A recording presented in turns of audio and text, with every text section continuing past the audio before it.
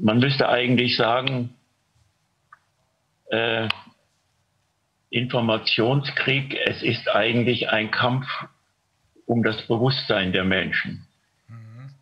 Also um die Inhalte des Bewusstseins.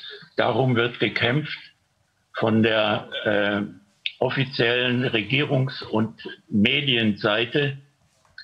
Äh, wird versucht mit allen Mitteln, äh, das in das Bewusstsein der Bevölkerung einzustreuen, einzudrücken, das, äh, was sie eben haben wollen und was natürlich eine ganz große Einseitigkeit in der Information bedeutet.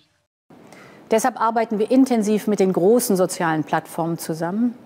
Wir fordern sie auf, noch mehr gegen Desinformation in der Corona-Krise zu tun. Auch die Kommission will beitragen, dass Sie im Zweifel verdächtige Fakten selbst checken können. Vertrauen Sie den Gesundheitsbehörden? Vertrauen Sie der Weltgesundheitsorganisation? Vertrauen Sie dem gesunden Menschenverstand und journalistischer Sorgfalt in den Qualitätsmedien?